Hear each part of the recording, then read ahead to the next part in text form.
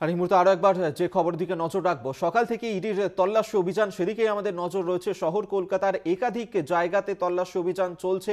প্রসন্ন রায়ের একাধিক ফ্ল্যাট, সেখানে তো তল্লাশি অভিযান চলছে। তবে নয়াবাদে প্রসন্ন রায়ের ঘনিষ্ঠ রোহিত ঝাঁ, তার বাড়িতেও তল্লাশি অভিযান চলছে। ইডির আধিকারিকরা সেখানে রয়েছেন। আমাদের প্রতিনিধি দেবাশিস সেনগুপ্ত এই মুহূর্তে সরাসরি সেখান থেকে রয়েছেন। প্রতিনিধি দেবাশিসের কাছে যাব। দেবাশিস প্রসন্ন রায়ের ঘনিষ্ঠ বলেই পরিচিত এই রোহিত ঝা। কে এই রোহিত ঝা? তার বাড়িতে কেন ইডির তল্লাশি? দেখো, প্রথমেই জানিয়ে রাখি যে এই রোহিত ঝা প্রসন্ন রায়ের ঘনিষ্ঠ প্রদীপ সিং, যার বলাকার বাড়িতে আজ তদন্ত তদন্তের জন্য ইডি সেখানে গিয়েছে, তারা ছানবিন করছে। প্রসন্ন রায় যে অফিস নিউ টাউনে, সেখানেও গিয়ে দুটি অফিসে তারা কিন্তু ছানবিন করছে ইডির আধিকারিকরা, যতদূর খবর। এবং এখানেও এসছে রোহিত ঝা, কেন এই প্রদীপ সিং এর মাধ্যমেই কিন্তু আলাপ হয় রোহিত ঝার সঙ্গে প্রসন্ন রায়ের। এবং মূলত এই রোহিত ঝা মূলত ট্রান্সপোর্ট ব্যবসায়ী, ছোটোখাটো গাড়ির ব্যবসা করতেন। এবং তিনি ওই প্রদীপ সিং এর মাধ্যমে প্রসন্ন রায়ের হয়, বিহারের মধুবনীর বাসিন্দা।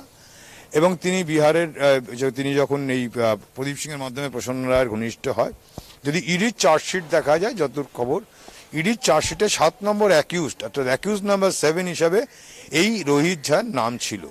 এবং রোহিত ঝা তার যেটা যেটা আধিকারিকদের তদন্তে যেটা বেরিয়ে আসে, যেটা সূত্র মারফত খবর, মূলত দক্ষিণ চব্বিশ পরগনা এবং চব্বিশ পরগনার বেশ কিছু অংশে যারা চাকরি প্রার্থী ছিল, তাদের, যাদের কৃতকার্য হয়নি, তাদের তাদেরকে টোপ দিত এবং তাদের কাছ থেকে পয়সা নিত এবং পয়সা নিয়ে সেই পয়সা পৌঁছে দিত প্রসন্ন রায়ের কাছে, এবং প্রসন্ন রায় সেই পয়সা শান্তিপ্রসাদ ছাড়া যারা আরও এসএসসি দুর্নীতি মামলায় রয়েছে, নিয়োগ দুর্নীতি মামলায় রয়েছে, তাদের কাছে পৌঁছে দিতে, এমনটাই কিন্তু সূত্র খবর। অর্থাৎ বলা যেতেই পারে, এ যে এই রোহিত ঝা ছিল, এসএসসি দুর্নীতির যে রয়েছে, তার এক মিডিল ম্যান হিসাবে এমনটাই সন্দেহ করছে তদন্তকারী আধিকারিকরা। যার প্রসঙ্গত জানি না কি, পিছনে যে বাড়িটি আছে, যে বাড়ি নশো চুয়াল্লিশ নয়াবাদে যে বাড়িটি এই বিহার থেকে বিহার থেকে আসার পর তার যখন এই ব্যবসা, ছোটোখাটো ব্যবসা করতো, গাড়ির ব্যবসা, তারপর যখন তিনি এই নিয়োগ দুর্নীতির সঙ্গে আস্তে আস্তে জড়ায়, টাকা পয়সা আসতে থাকে, তখন এই যে জায়গাটি আসে এইখানে ফ্ল্যাটটা কিন্তু তিনি নিজেই তৈরি করেন। এবং এই ফ্ল্যাটেরই একটা একটা পোর্শনে ওয়ান বিতে তিনি নিজে থাকেন এই রোহিত ঝা। এবং এই, দেখা যায় যখন এই নিয়োগ দুর্নীতি মামলা যখন বেশ কিছু ক্ষেত্রে ঘটনা ঘটছে এবং এই তদন্ত যখন চলছে, সেই তদন্ত চলার সময় তখন কিন্তু তার আর্থিক অবস্থা বেশ কিছুটা স্থিত হয়ে পড়ে। অর্থাৎ মানি ফ্লো যেটা ছিল, সেই মানি ফ্লোটা কিছুটা কমে গিয়েছিল। এমনটাই কিন্তু সূত্র মারফত খবর। অর্থাৎ বলা যেতেই পারে যে এই যে অভিযোগ আসছে যে প্রসন্ন রায় বহু বহু টাকা নিয়েছে, এই নিয়োগ দুর্নীতির টাকা তারা পেয়েছে, এই তদন্ত করে আধিকারিকরা যা পেয়েছে, সেই টাকা বিভিন্ন জায়গায় সরানো হয়েছে। মূলত রোহিত ঝাও কিন্তু তার মধ্যেই একটা রয়েছে। একদিকে যেমন খবর একটা যে তিনি দক্ষিণ চব্বিশ পরগনা সহ বেশ কিছু জায়গা থেকে যারা কৃতকার্য হয়নি, তাদের যেমন লিস্ট তৈরি করেছে, সেই লিস্ট পাঠিয়ে দিয়েছে। সেটা প্রসন্ন রায়ের কাছে, প্রসন্ন রায় লিস্ট আবার চ্যানেল মারফত পৌঁছে দিয়েছে শান্তিপ্রসাদদের কাছে।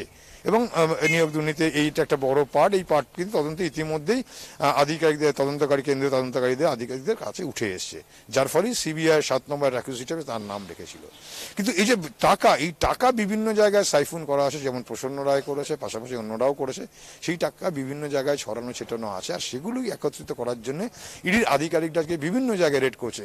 যেমন এখানে, যেমন রেড করছে রোহিত ঝার বাড়িতে, ঠিক তেমনই কিন্তু আবার তদন্ত করতে গিয়েছে যে প্রদীপ সিং এর মাধ্যমে প্রসন্ন রায়ের নিকট নিকট হয়েছিলেন এই রোহিত ঝা, তার কাছে, তার কাছেও কিন্তু তিনি তাদের বাড়িতেও কিন্তু তদন্তে গিয়েছে এবং যেটা শোনা যায় যে এই রোহিত ঝা কিন্তু এমপ্লয়ি হিসেবে ছিল এই প্রসন্ন রায় এমনটাই একেবারে একেবারে এবং। প্রসন্ন রায়ের এমপ্লয় হিসেবেই কাজ করতো কিন্তু তার বাড়িতেই আজকে ইডির এই তল্লাশি অভিযান। অবশ্যই সেদিকে নজর রাখো দেবাশিস। আপাতত ধন্যবাদ তোমাকে।